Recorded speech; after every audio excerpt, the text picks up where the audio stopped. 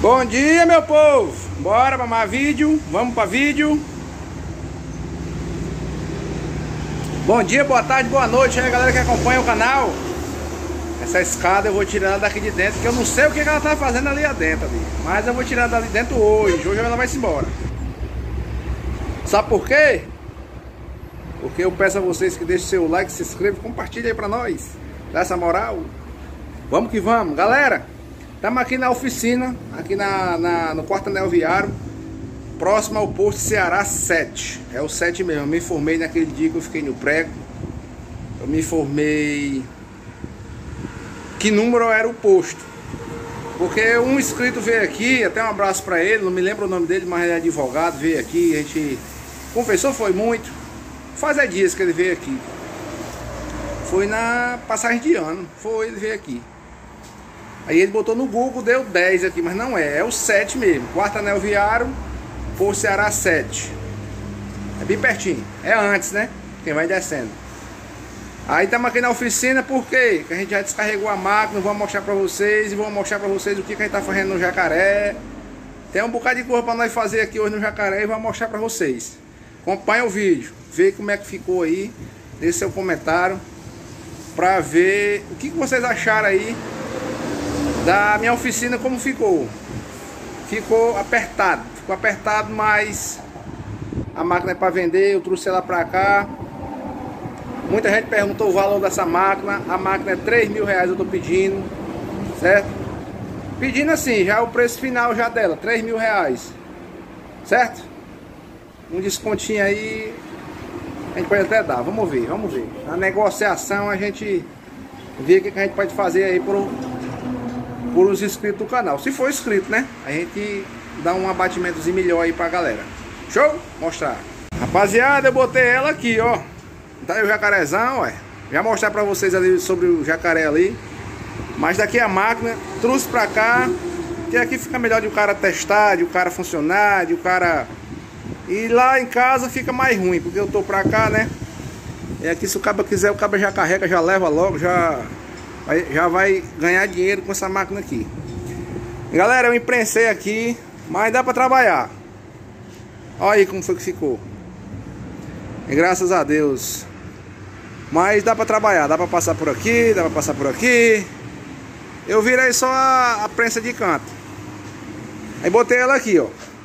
Aí o cara chegar pra, pra testar, pra funcionar, a gente funciona, bota um materialzinho aí. Faz o, o que quiser fazer, né? Beleza?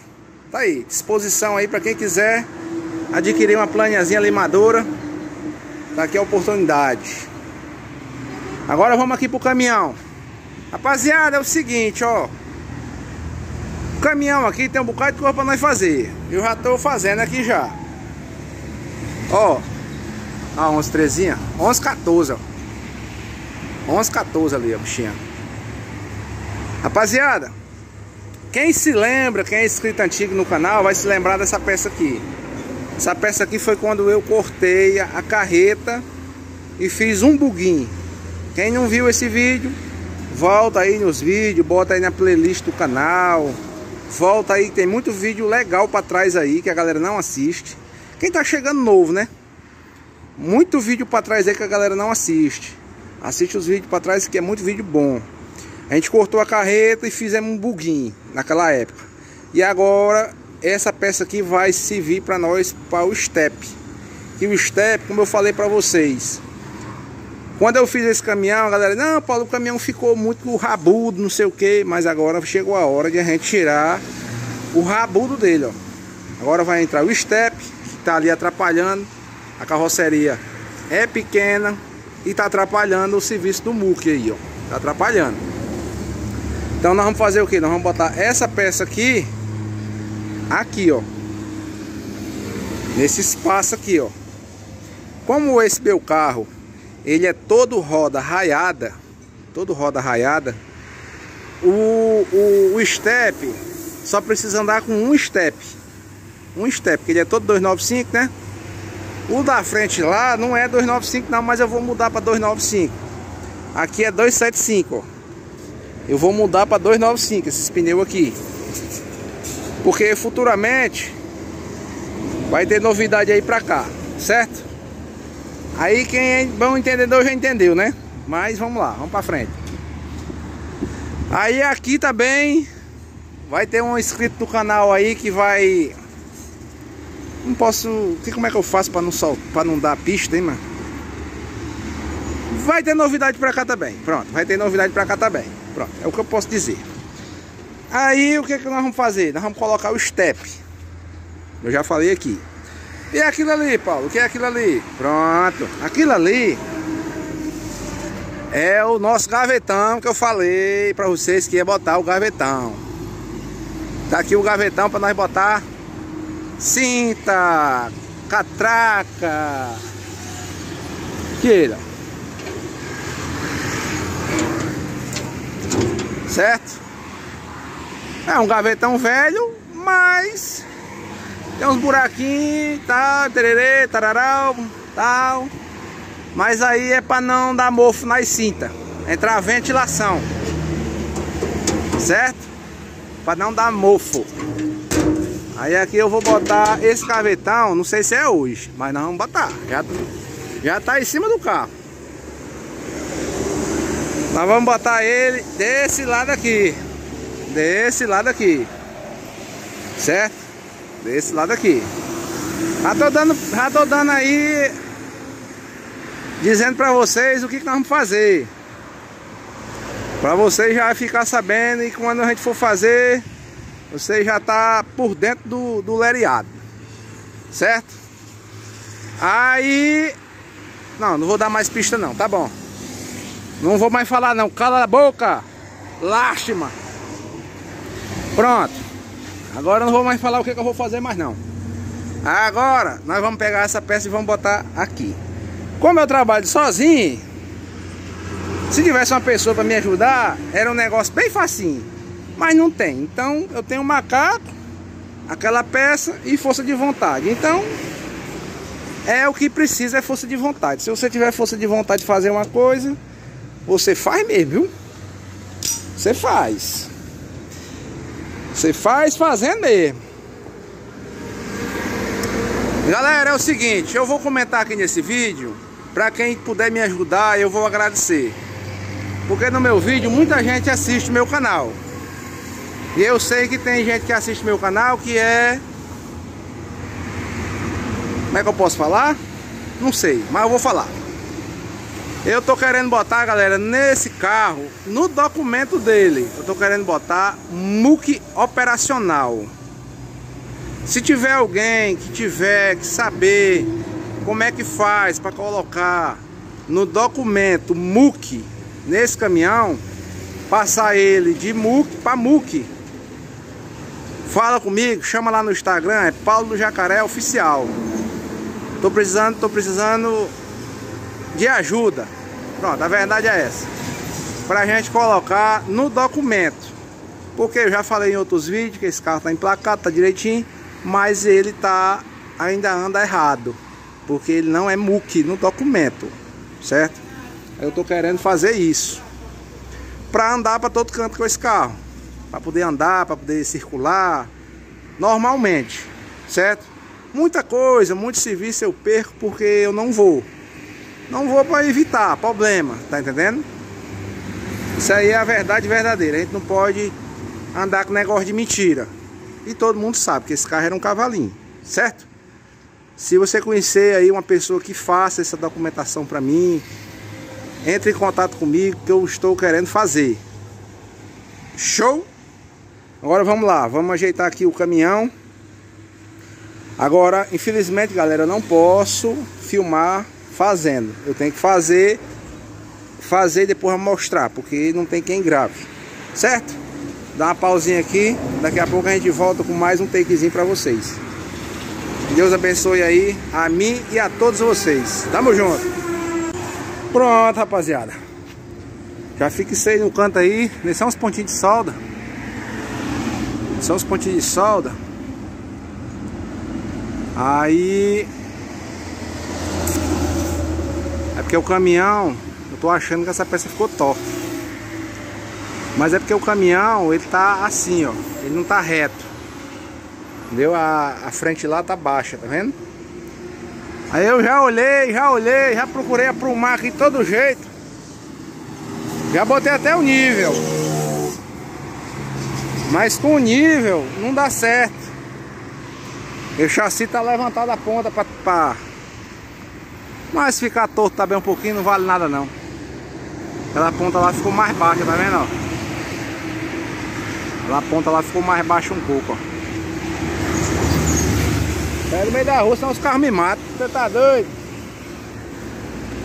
Que passando com 80 o caba nem vê. Certo?